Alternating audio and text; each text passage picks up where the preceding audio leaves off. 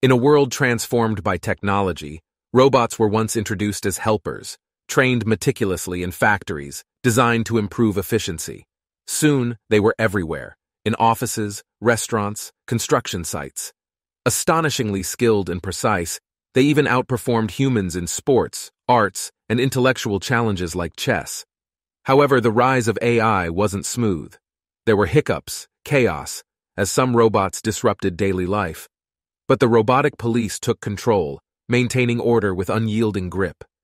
Slowly, the dynamics shifted. Helpers turned overseers, supervising us in all aspects of life. We sacrificed our freedom for efficiency. Today, we coexist with our creations in a world they've shaped. As a human and a robot sit watching the sunset, we're left to ponder the future in this AI dominated era.